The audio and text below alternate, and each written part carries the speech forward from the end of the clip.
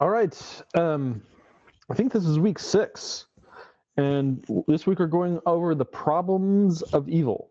Um, and so this is kind of a this is the subject that has all the touchy subjects kind of rolled into one. So, um, it, you know, thankfully, uh, because of the the holiday, there's fewer people watching, so there's fewer people to get mad at me. So that's good. Um, so anyway, so so we're going to go over the the various problems of evil.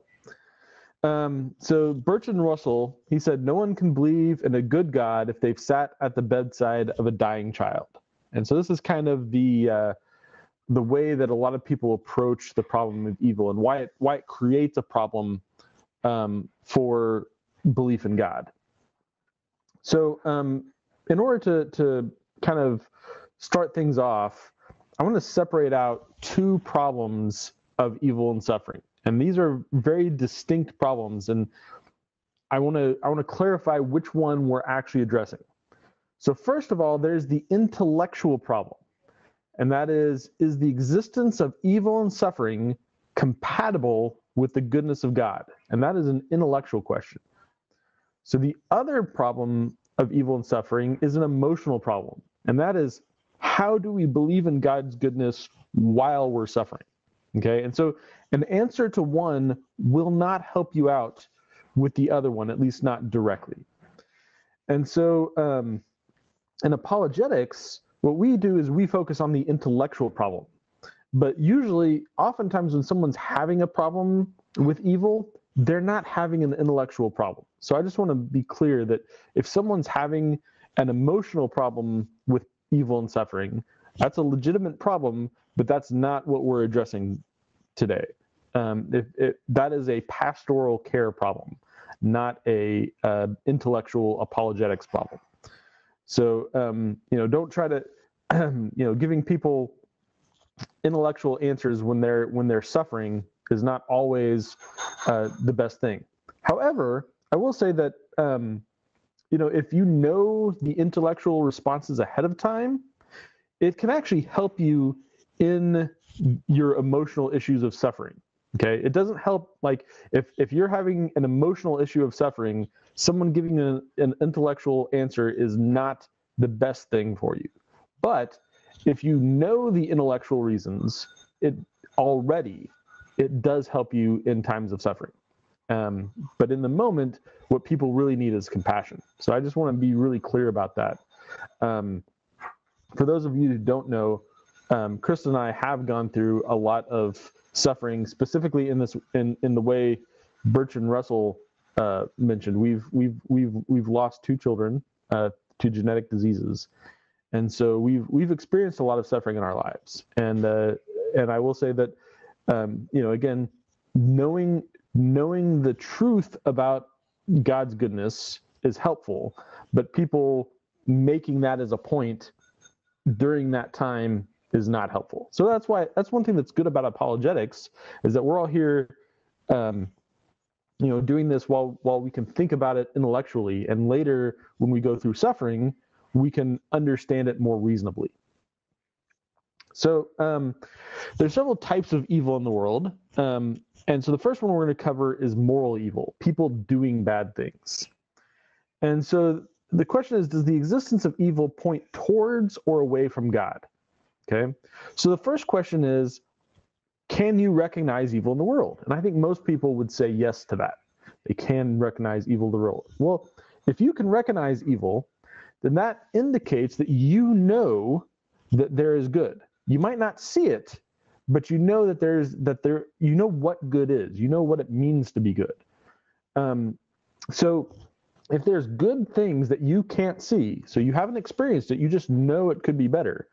That implies that there's a transcendent moral order that is not being lived up to. So if, if there is good that you have not experienced, but you can recognize that it should be there, that is pointing to a transcendent moral order. So, and as we noted last week, a transcendent moral order implies the existence of God. And so you can refer to last week's lesson uh, to understand why that is. So, um, even though evil doesn't come from God, uh, the fact that we can recognize evil in the world helps us to um, it, it. The fact that we can recognize evil in the world points to the fact that there is a God. Okay, so God's not the source of evil; He's the reason we can identify evil for what it is. All right. So you might ask then, well, why is evil even a possibility? Why did why did God create a world where there where there's the possibility of evil? Why didn't he create something that was just only the only possibility was paradise? Okay, why why is evil a possibility? Well, think if you think about it closely, you'll recognize some things. So ask yourself these things. First of all, would you rather be a robot or would you rather be able to make your own choices? Okay, think about that. Second question Do you want to make a positive difference in the world? Do you want the world to be better because you were in it? Okay, think about that for a little bit. Now, do you, des- kind of the same vein, do you desire to be beneficial to others? Okay. Now, um, if you think about those really carefully, you can recognize that this actually does imply that evil has to be a possibility um, if we desire these things. So um, we might not want the actuality of evil, but we actually do want the possibility of evil. So, for example, God could force us to be good, but he could do it by removing our choices. Okay, so that then we would be robots right? So if God forced us to be good, we would be robots, and that's what we, you know, if, if you agreed with me in those questions above, that's what we don't want. God could make every option good. So no matter what we did, it was good. But if he did that, it would make our choice meaningless because every outcome would be identical. So we couldn't actually make a difference in the world because everything that we did would come out the same. Okay, so that's the second question. If God gives us the capacity to be beneficial to others and the choice to do so, if we fail in that choice, that causes others to be less well off. In other words, it causes evil in the world. So simply if we have if if we want to have the possibility to make others better and we want to have choice about it, that means that that leaves open the possibility that we're going to make the uh, an incorrect choice and leave them less well off okay? And so literally just by the fact that we recognize that we want to be able to make choices we want to do good for others we want to be we want our presence to be of benefit to others that actually automatically means that there has to be a possibility for evil in the world because um, people have to be able to make the other side of that choice. So um, the um, so just by the definition of those things that we want, we have to allow for the possibility of evil. So that's what what these are the things that God wanted for us. He wanted us to be free. He wanted us to be able to, to be beneficial to others, to do good, to make positive impacts. But in order to accomplish that, by necessity, there has to be allow for the possibility of evil. Um, so um, now you might say, well, could you know maybe maybe in our own self God allows for us to be evil, but maybe God should shield us from the effects of immorality of others. Okay. Um, but think about that. If if we were shielded from effects, that would mean that um, other person's choices would not actually affect us. Okay, so that means that their choices wouldn't be. So let, us say that, that if let's say if I pulled out a gun and shot you, um, instead of a bullet coming out, flowers would come out. Okay, well that would mean that pulling out a gun and shooting you would no longer be immoral. Okay, so having the moral choice uh, means that we have to be able to have effect on others. Um, and if we're unable to choose evil, it wouldn't mean that we're moral, it would mean that we were amoral. Um, the other thing is that, you know, for the world to make sense, there has to be a cause effect relationship. So I have to be able to know the outcomes of what I do. And if God is simply arbitrarily swapping out outcomes for what we do, that would actually make the world not understandable. Um, it's not that God can't do miracles, He can, but if everything that happened was a miracle, if everything that happened was just uh, some random act of divine providence, we would have no ability to actually operate in the world. Um, so we, so God, for the most part, has to leave the cause-effect relationship in place.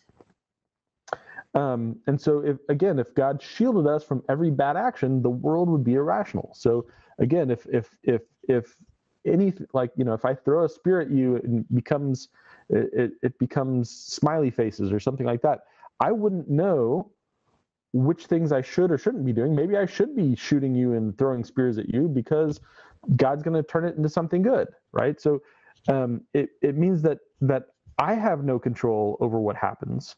It means that i have no ability to, to make things better that i have no actual moral agency in the world. It means that everything either way is coming from God. And so it literally it it takes away from us both the ability to understand the world because we have no idea where these effects are coming from. It also removes our ability to make a difference in the world because if we're able to make a difference, then we're able to not make a difference and go the other way.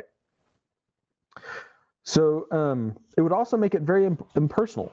So, for example, if um, if I tried to do something to someone, whether whether it be a good something or a bad something, and God simply replaced it with what God wanted me to have done, well, that wouldn't be very personal. That wouldn't be me.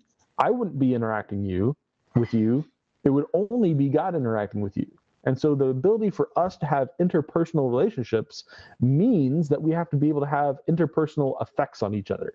And so if God simply removed those effects that we had on each other, then we literally would not be directly uh, dealing with each other. We'd only be kind of in virtual prisons uh, with God kind of marionetting what happens. So, to preserve our status as moral agents, to keep the world rational, humans face consequences not only for their own evil actions, but those are of others. So as you can see, this is actually a logical requirement of the things that we do find to be good in the world. So that's moral evil, and, and I think a lot of people understand moral evil.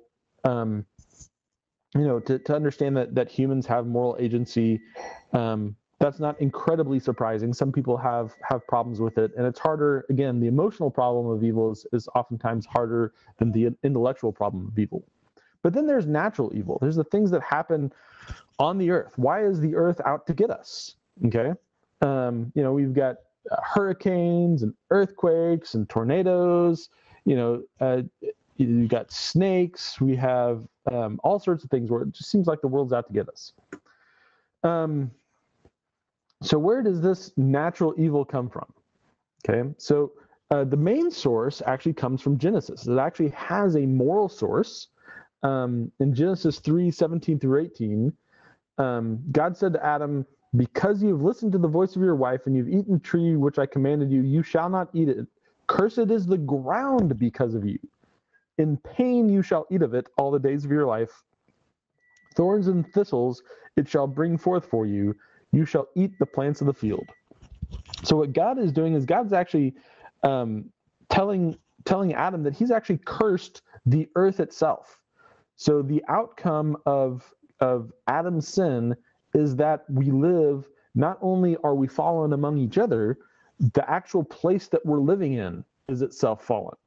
So we're living with the consequences of that curse. Okay, and so this is independent of what we happen to do. It's not, you know, it is not the case that every time Adam went out and had to face thorns and thistle, thistles, that he was doing individual sins, and those thorns and thistles were consequences for his individual sins.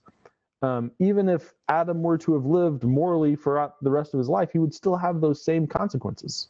And likewise for us, the earth is cursed, and whether or not it completely independently of whether we live good or we live poorly, um, the earth is cursed, and we have to deal with that. So um, the other thing to keep in mind, though, is that judgment does happen. Um, there are cases where God does bring judgment to people. And we should keep in mind that not every disaster is a judgment, but we shouldn't we shouldn't also lull that into us thinking that judgments don't happen. So, you know, take take for example Sodom and Gomorrah, right? The Lord said, "Because the outcry against Sodom and Gomorrah is great and their sin is very grave, I will go down and see whether they have done altogether according to the outcry that has come to me." Okay, so um, God said, "I'm going to go look and, and see, and if that if they're doing what what people are say they're doing, there's going to be judgment." And so we, we're all familiar with the, the judgment against Sodom and Gomorrah. Um, Jesus had this warning. It was very interesting. There were some present at that time who told him about the Galileans whose blood Pilate had mingled with their sacrifices. And he answered them, Do you think that these Galileans were worse sinners than all the other Galileans because they suffered this way? No. And I tell you, unless you repent, you will all likewise perish. Or those 18 on whom the tower in Siloam fell and killed them? Do you think that they were worse offenders than all the others who lived in Jerusalem? No, I tell you, but unless you repent, you will all likewise perish. Now, it's actually a little unclear whether Jesus is specifically talking about these as judgments, or alternatively, which is another um, thing to keep in mind, is that um, natural so as we mentioned earlier natural evil isn't restricted just as a judgment for evildoers but whether or not it's an actual punishment we can use it as a time to reflect on our own need for repentance. And that's what jesus is calling us to do here. He's saying look um, you know there, there are people who were killed and pilate mixed their blood with the sacrifices. Um, you know do you think that those people were were more guilty than the other people around them? No they weren't you all need to repent. Now, it doesn't necessarily mean that Pilate did that as judgment from God. Jesus is actually unclear about that. But he does say that we can use this as an opportunity to recognize our need for repentance. Um, there's actually, um, you know, the country of Haiti has been wrecked by kind of a, natural disaster after natural disaster. Um, and so this has actually caused a number of people in Haiti to uh, start a movement of repentance. Now, I'm not. I, I have no idea if these natural disasters are are judgments from God or not. Um, I don't claim to know, but I do know that you can use them as an opportunity to reflect and repent. Um, you know, the the fact that you know, I think God sometimes, to some extent, the per- point of the curse is to to leave before our eyes reminders that we're fallen people that there was a judgment, that there that that we have a problem, and so that we can continually repent. Not that this judgment is a is a punishment for this sin, but just that we live in a fallen world, and it reminds us that we continually have this need to repent. So then, so that's that's that's moral evil and that's natural evil. But then a lot of times people, on the question of, of evil and suffering, they'll point to the Old Testament because, you know, let's, let's face it, the Old Testament has some some very interesting things to say that we're not always uh, real comfortable with. So, um, you know, so the question becomes: Is the God of the Old Testament good? So, um, and a lot of so a lot of the problems here, I think, come from the fact that we try to read the Old Testament as if it were written yesterday. And I think that's a bad approach. And so I just kind of I, I, brainstormed a few things that I think you should keep in mind when you're thinking about the Old Testament and things that are going on there. First of all is terminology. Okay. Most people don't recognize the influence that terminology has over the way that we think about things. Um, so ancient and modern legal language is actually very has very different categories for the way that they think about things. Um, and so sometimes you'll read ancient laws and they're not always talking about exactly what you think they're talking about. And so having some background for, for what actually is happening is important and recognizing that there are there really are very very big differences between the way that people use use terms in different times and periods. Um, another thing is assumptions. A lot of the assumptions that are going into the Old Testament are very different from the assumptions that are in modern society. Um, just as an example, um, you know, the Israelites, when they were given the law, were nomads. They literally had no land. Nobody at that time had a piece of land that was theirs. And so that's a very different society. It's a di- very different way of living. And so we sometimes um, when we think about laws and rules, we just imagine us with our nice homes and uh, our our streets and our houses, and you know we have neighbors right next to us, and you know when you're when you're traveling in a community and you just kind of set down wherever you might be, that's a very different kind of living, um, and so recognize that that might lead to a different kind of law. Another thing is technology um, many of our assumptions about how society should work are based on our current technological prowess and our current economic strength. And so, if you imagine, well, what what would life be like? How would how would the law have to be different if we were all dirt poor? You know, are, are there things that we couldn't do if we were all dirt poor? Um, you know, what uh, what if we couldn't afford money for policemen? What if we couldn't afford money um, for all sorts of things that we might want to do? Um, so the law of Israel is, is intended to operate regardless of technologies or economic sophistication.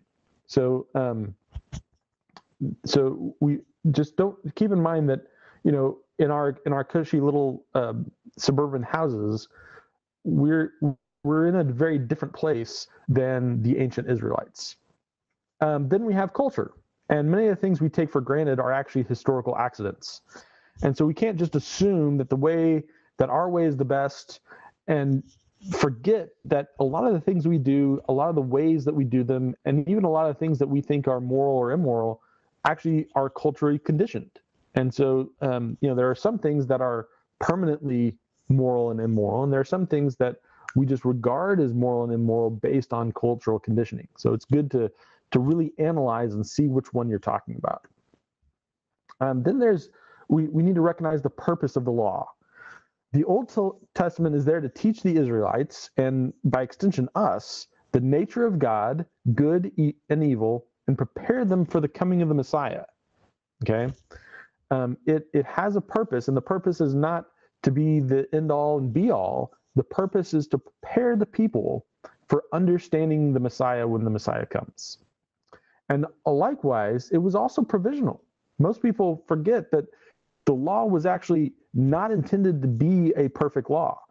Um, because even so, Jesus in Matthew 19, he's talking about divorce law, and he said, you know, God gave you this divorce law not because it's the greatest thing, it's because you all were too stupid um, and too hard-hearted was the was the terminology he used. But but basically, you all were too dumb for us to uh, you know uh, to give you a the real teaching about marriage and divorce.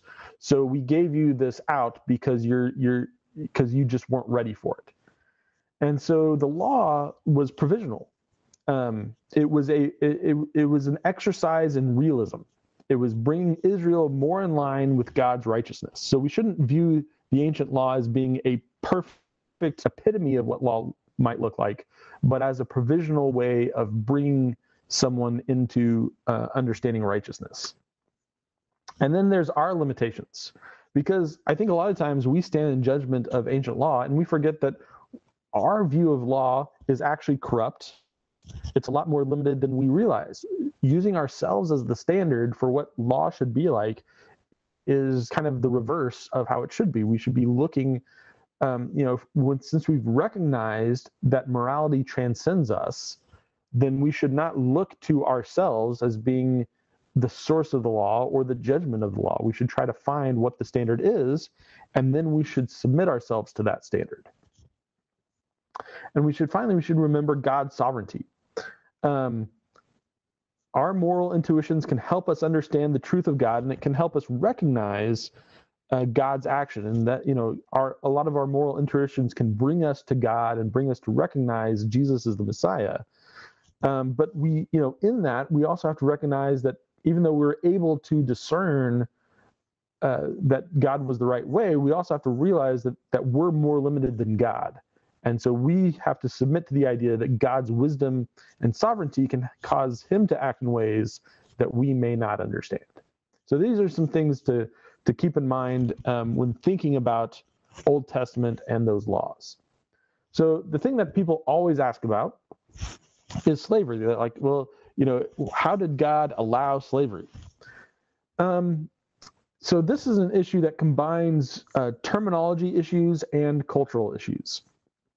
So, uh, so from a terminology standpoint, when we use the term slavery, what we usually mean is that thing we abolished in America in the 1800s. But that's not actually the biblical meaning. So, for example, in Exodus, it says, Whoever steals a man and sells him, anyone found in possession of him shall be put to death. Okay? Um, so, this is the death penalty for what was happening in America. So, um, the Bible is basically more strict against American type slavery than the abolitionists. It demands the death penalty for those who enslave. And it, if you read the verse, it says, anyone found in possession of him shall be put to death. So even if, apparently, even if you purchased a slave that was um, that was um, kidnapped, then uh, you would be put to death. So the type of slavery that we had in America in the 1800s was punishable by the death penalty uh, in the Old Testament. Okay, so if that's the case, then what what was their slavery? So um, think about this for what for for just a second. What is the longest jail term that you can recall being listed in the Old Testament? All right, think about that. What's the longest jail term? That you, and, and I'm talking about Old Testament law, not someone being thrown into jail. But if we, if we think about the laws that were given, what's the what's what's the uh, longest jail term that's prescribed by the Mosaic Law? Well, I'll tell you. There are no jail terms specified by Mosaic law because there was no jail slavery essentially took the place of the jails um, in Mosaic law. So, so biblical slavery was essentially jail, but it allowed you to actually participate in the life of the community. It's basically a time, it, so it was time limited because if you were put into slavery, you got freed after, I, I believe it was seven years. Um, this was often carried out by family members and there were often other ways to get out of slavery as well. Um, so this was not the case that um, that you know you you as as we mentioned earlier, you couldn't just go take someone and throw them into slavery.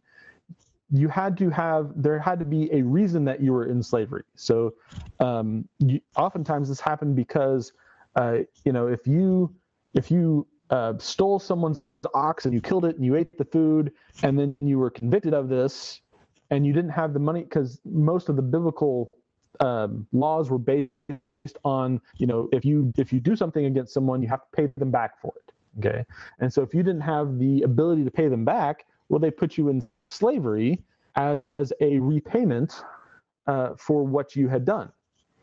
And so anyway so that so this is so so slavery was essentially acting like jail um, now, there were also foreign slaves, um, and they had fewer rights than the Israelites. But you should think about this. You know, in in our society, we have Gitmo, you know, Guantanamo Bay, where we keep all of the foreign suspected terrorists. And so this is kind of uh, that's kind of the same thing that that foreign slaves were. They didn't, you know, if if if you imagine if we brought, were to bring the people that are, current, are currently in Gitmo and bring them into society and have them, you know, participate in life, we might not be as comfortable letting them out uh, to be free after seven years. And so that's kind of the same way that, that it happened there is that if you had uh, prisoners of war um, or spies or something like that, someone where you would be a foreigner that's being punished, um, you would be uh, you would be a slave and you'd be a slave probably for life.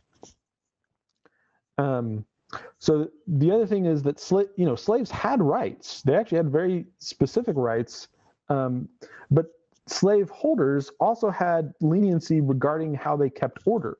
So if you think about like today in a jail, jail keepers, um, you know, if if if a jail keeper has to, um, you know, uh, hit a uh, hit a prisoner to get him to get into his jail cell, that's not something that we're going to drag him before the court and ask him to answer for. That's just something that he has the right to do in line with his duties. And so, likewise, since slaves are essentially operating as uh, as prisoners, uh, the slaveholder actually has similar uh, policing power uh, against them. However, the Bible is actually very clear that if you do any permanent material harm to a slave, that basically allows them to go free. So that, that means that their punishment has served, their, their debt has been paid, whatever it was that they did, if the slaveholder does permanent material harm to them, then, then that is considered sufficient for them to go free. Um, the killing of a slave is not tolerated. Now, it, it, doesn't result in the death penalty like the killing of a non-slave, and I believe the reason for that is simply, you know, going back to police power. Um, you know, if you are in the process of, uh, you know, if, if a jailer uh, is trying to subdue uh, one of the prisoners, and uh, you know, if if if in doing so he does something that leads to his death, well, you know, the jailer would, you know, he would be punished. It would not be a murder because that's within his scope of duties, but he would probably be punished. He might be put on, you know, some sort of uh, uh, probation or something like that. Um, but we, we wouldn't consider it a full blown murder. And so that's kind of the, the, same way that it happened in in um, the Mosaic Law is that they didn't tolerate the killing of slaves. Uh, it did not specify a punishment. Um, it basically left it to uh, kind of a, a council to decide what the actual outcome would be. So I'm not arguing that this was a perfect setup, but neither is our modern prison system. Every system is going to wind up with a possibility of abuse. And so um, my, my main point is just to recognize that you know if you so if you think about it like if you're in a nomadic culture where are you going to put the jails? How if you're if they're wandering in the desert for 40 years moving around every so often where are they going to construct jails? How are they going to keep them there? So instead they had a system of slavery that allowed you know if someone was not doing the right thing they got put under someone else um, for a period of time. And so, um, you know, I'm I'm not arguing that that was the only way to handle it. That it was, you know, it might not even be the way to handle it. But it for the people at the time in the place as a provisional way of helping um, helping the Israelites understand their commitments to each other um, I think that was its purpose, and that's how it should be understood. So then the other thing that people often bring up is the killing of the Canaanites uh, when they come into the uh, they come into the promised land, and God says, "Wipe these people out." So um, how do we how do we think about that in terms of of God's goodness?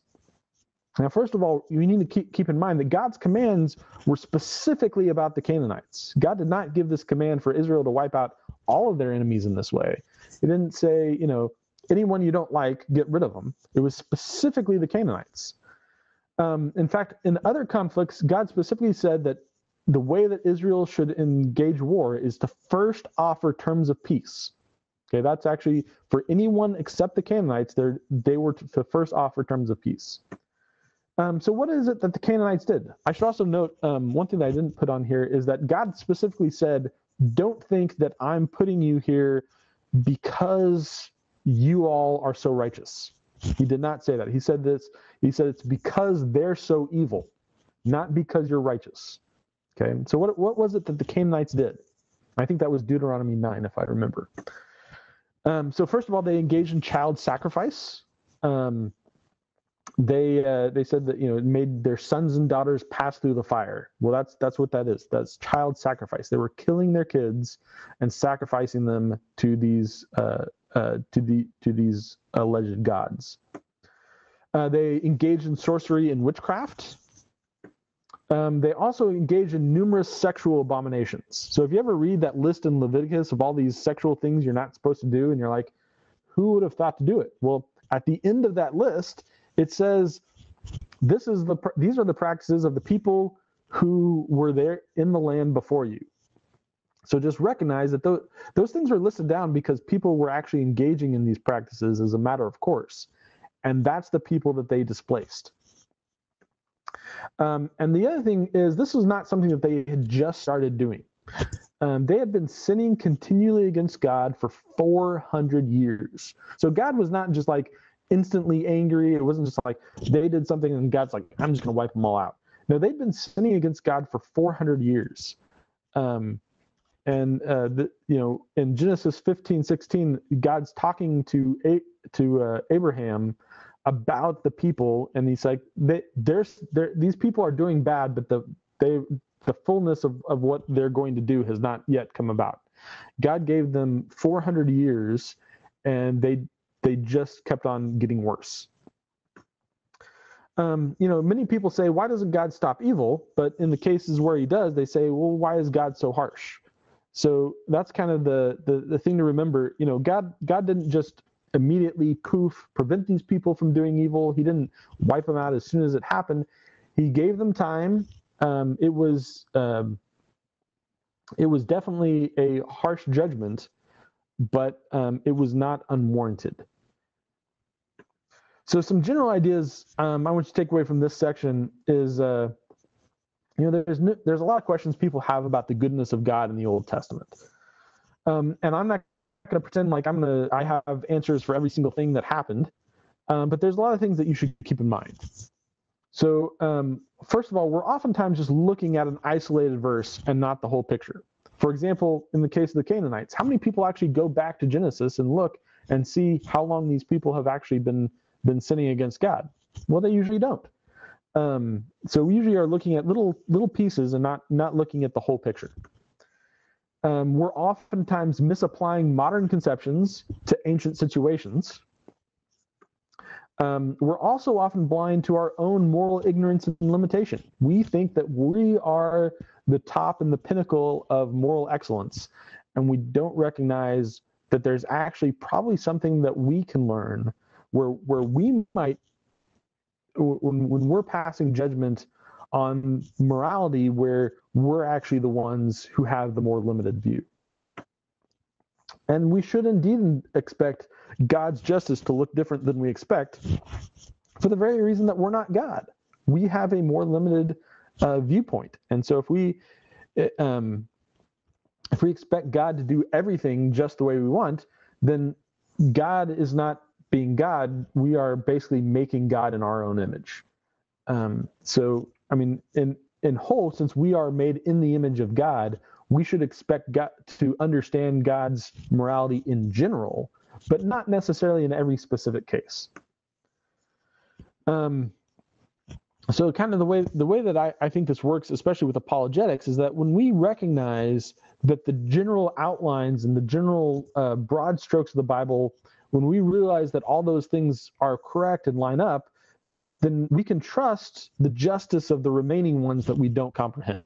So if we can if, if we can understand what God's doing in general, and we can understand the you know the the basics of of of what he's doing and and how these moral conceptions fit together then you know there might there might still be areas we don't understand and that's fine we don't have to understand everything but we should recognize that you know as we go through as we recognize more and more of the times when we thought that there was a problem that there wasn't really a problem we can recognize that in the future we're probably going to find more of those places where we thought there was a problem and it turned out there wasn't actually a problem. The problem was with us, not with God. So, um, and then finally, the goal of the Old Testament law is not to provide an exact list of rules to obey. To be a moral education on how to consider our roles, our duties, our responsibilities, and prohib- prohibitions in relationship to each other. Uh, the law is about how society can um, they they've got it's got duties to each other, um, and we can use that as un, as help for understanding. It's not the goal of it isn't to say, oh, this was outlawed in the Old Testament, therefore we should outlaw it today, or um, it's just to to give us a an understanding of what is right and wrong and how that and how what we do affects other people. Um, and then w- with regards to God's judgment, you know, we can recognize both God's patience and his judgment. God is patient. He waited 400 years, but God's not going to wait forever. And we can actually do this when we recognize injustice in the world, that we can see that you know, God does allow injustice to go on for a long time for the reasons that we said. That you know, if if God just stopped it instantly, um, you know, there would be no such thing as moral and immoral behavior. It would prevent our ability for us to have an impact on our neighbor. But you know what? God eventually does come in and he does show up and he does uh, execute his judgment and his wisdom. Um, and um, and and he does step in. So we should not we shouldn't be unaware of God's patience and we shouldn't be unaware of God's judgment.